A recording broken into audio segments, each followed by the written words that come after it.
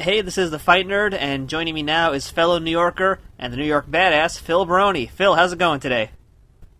It's going good. Just got finished sparring, man. Just, uh, just got done with a hard workout. All right, now you're getting ready for uh, your fight against Brad Tavares at UFC 125 on New Year's Day. So, how are you getting ready for Brad? Uh, I'm just training real hard. I'm, I'm uh, you know, I'm, I'm at AK and I'm, I'm training real hard, and I'm uh, doing what I got to do to, to be to be in great shape and be able to uh, put a good, good performance on New Year's. Start the year off right. Yeah, that's right. Now, your, your last fight in UFC was well over a year ago, a loss to uh, Amir Sadollah, and you were set to fight at UFC 118 but had an injury. So, uh, is that injury fully recovered now? Yeah, it, it, it's done. I, I broke my collarbone. I dislocated it. It's it's healed, and uh, you know, it's not bothering me at all. My training.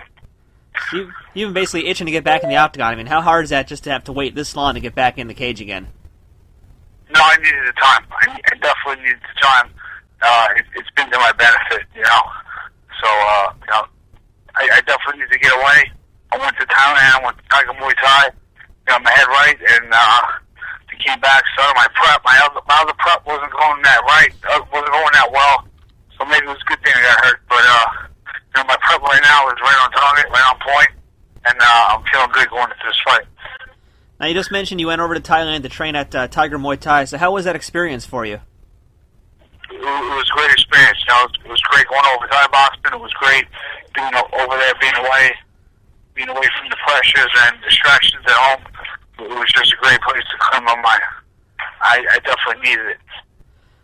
Is there a different mentality for fighting over there, or is it similar to how we have it in America? It, it's completely different. I mean, everything about that place is different. The culture, uh, there's nothing to say about, about how they fight, about how they train. Completely different, and I think I uh, picked some stuff up over there that I can use over here to my, my advantage. So we're going to see a brand new Phil Baroni basically at UFC 125? Uh, I don't know about a brand new, but you're going to see a uh, much improved and, uh, you know, a guy who's going on on a win streak. You know, I'm, I'm, I'm a streaky fighter, and I feel like now's my time to go on a streak, a, a nice win streak. You know, I think I compete with a lot of these guys in the UFC right now, you know, and uh, I'm going to prove it by getting through uh, Brad Tavares. I think he's the toughest guy that I've fought in the last couple of in the last couple of years. So, so beating him will, uh, you know, put put the right step to uh, compete with the with the top guys in the UFC 185 pounds. All right, now is this fight with Tavares going to be a do or die fight in terms of your contract with the UFC? I, mean, I, I don't know. I'm, I'm not one to make those calls. I mean, if they're like far, uh, whatever his name is, uh, Tyson Griffin, he lost four times. He didn't get cut. I'm, I'm not sure what what they think. You know, you know, my situation, but you know, uh, no, no pressure. I, mean, I've been in this position my whole life. I got to my next fight. I got to retire. You know, the, the last six years. So, you know, I, I don't find it as a high pressure situation. I've split big fights all around the world for for, for years. You know, I, I think this is a high pressure fight for Tavares fighting me on New Year's Day in Las Vegas, my home. I think the big, you know, I, I think he's the one who has the pressure on him. You don't want to come out of the gate losing your first fight in the UFC. I mean, me, I'm, I'm going to be okay. You know, I, I'm giving myself, you know, four years, just like, just like a, a college season, and, and maybe one more year. So things going great, a red shirt year. So, you know, I have my plan. I'm not worried about it. Know, I'll, I'll live to fight another day regardless. All right, now I've noticed with a lot of your fights, you tend to be fighting off of something emotional. So I wanted to ask you, uh, what is it that drives you to fight? Uh, there's nothing personal against this guy. You know, he's a nice kid. I, I've met him before at, at Las Vegas at, at Shooting You know, he's a nice guy. What's driving me to fight right now is, you know, I, I like my life. I like my lifestyle. I like, uh, I, I, I like, you know, being my own boss. I like not having to work a nine to five and, and, and, and being a professional athlete.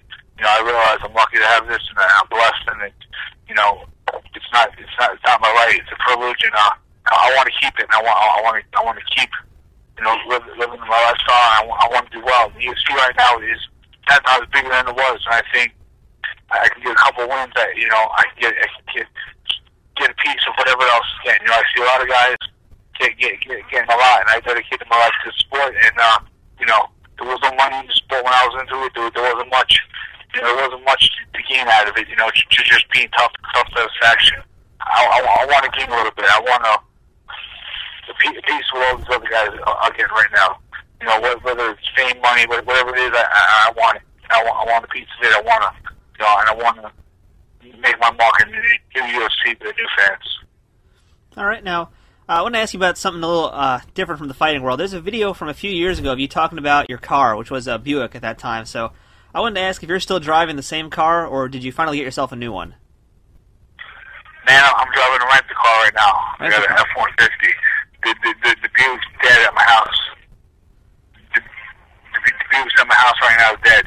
Uh, so I, I got to win this fight. I buy a new car. so that's more or less the uh, the big thing for this fight. Is once you win this, you get to buy yourself a new car. Yeah, exactly. That's, for, uh, that's motivation right there. I need, I need, I need some wheels. I need to get around. Just running the car shit. It's costing me an arm and a leg. And, uh, you know, it's, it's time to get something nice. Like I said, all these guys got a lot of nice things getting from the UFC. It's time for me to turn in that Buick and get something, you know, that says, you know, badass all over it.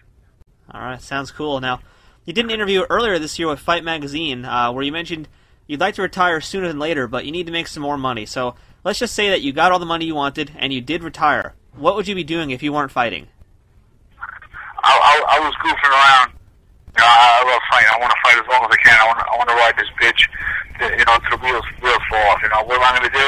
Who knows? Maybe I'll move to Thailand, open up a or, open up a gym, or, or, or move to Hawaii or something. I don't know. Move somewhere tropical and nice could uh, move off the land, so to say. You know, this is a long way away, but how do you see yourself matching up against the current UFC middleweight champion Anderson Silva? Man, I think you know, I think I think the game plan to beat him finished, you know, been exploited, and everyone says, you know, the, the fighters today are better, this and that. And it's the same fight fighters. Anderson Silva's been fighting, you know, o- over ten years, and, and, and so is Chael Sonnen. It's all the same guys are the best guys at the top. I think you know it's been revealed how to beat that guy. I think you know I, I think I have the ability to do it. You know I, I know from my head on, on the scorecard I'm not going to get triangle in the last thirty seconds. All right, now if you want, Phil, go ahead and uh, thank any sponsors you might have for this fight.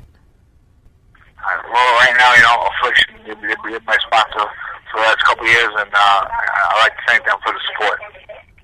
All right, well, sounds good. Now, uh, you viewers can check out Phil Baroni at UFC 125 Resolution on New Year's Day on pay per view. Phil, good luck and represent New York for us. Yeah, I will. You know I do. Thanks, guys.